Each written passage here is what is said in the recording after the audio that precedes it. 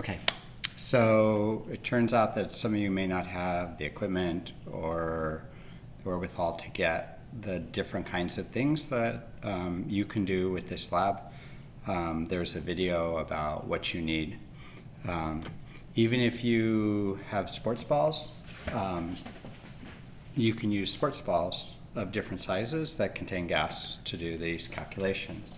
However, if you don't have it, I am supposed to do, do a lab for you, which is not what I wanted.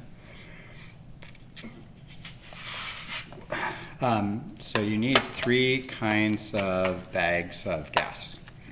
So we blow up a balloon, and our first calculation will be about this balloon. So you're supposed to take a string, wrap it around the middle.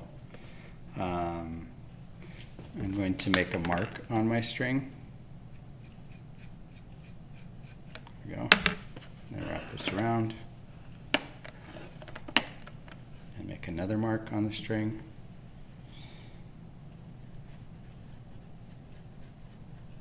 Okay, so my distance around the circumference is this value.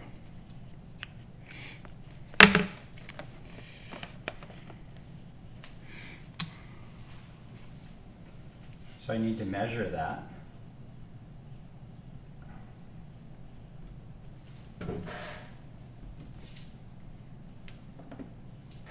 Um, and I have a ruler up here to help me measure. So the first measurement uh, will be, let's that up, 25 and a half.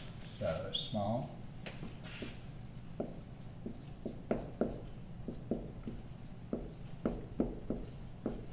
centimeters. All right. Um, another possibility for a bag is a Ziploc bag. So we're going to use that because it's going to be bigger. Um, in fact, we're going to go with a bigger Ziploc bag. Um, and to do this, you need to um, open it up, try and get as much air as possible inside, and then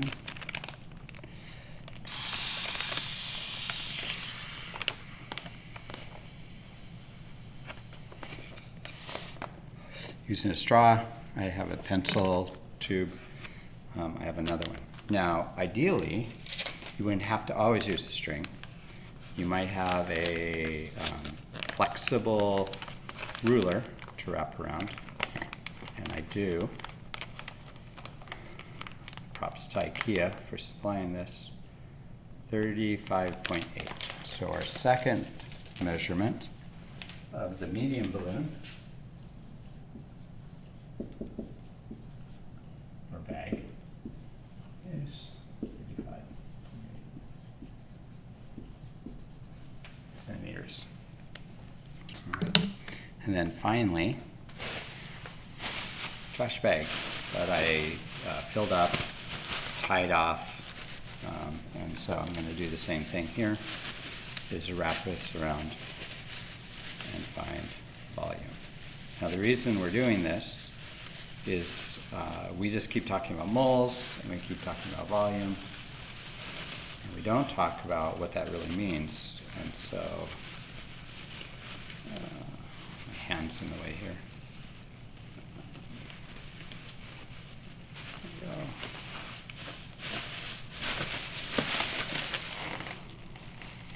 So that is, put this round holy mackerel. Hard to do. Um,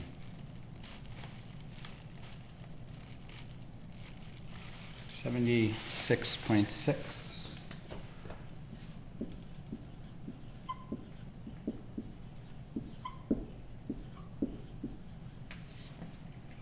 Okay, so that's how you're going to do it.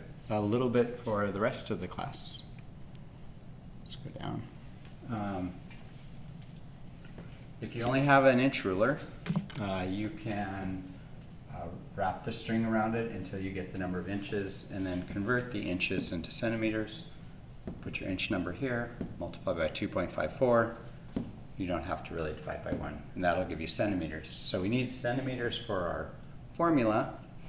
So um, let's just imagine that we do this calculation. Um, we measured 10 inches, so we get 25.4 centimeters.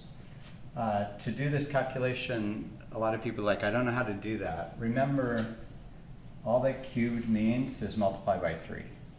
So you do 25.4 times 25.4 times 25.4. And then you have a, a square here, so you can do 6 times 3.14. And then you just repeat it again, because you're squaring it. You don't need no fancy calculator, you can do that on your um, iPhone or Android. Uh, So that's the calculations you have to do. Um, lab's all done. The idea is that it's a quick lab, trying to think about how much is inside here. And I will tell you that that is about half a mole, right? A mole of gas is this much, and a mole of solid is that much. So twice as much as this versus that little block inside there. Um, so a mole of gas expands a lot. Okay. Uh, preferable, do your own lab. If you uh, need the numbers because you have issues at home trying to do labs, here are the numbers you use. A little bit of a glare 25.5, 35.8, 76.6. Okay, off you go.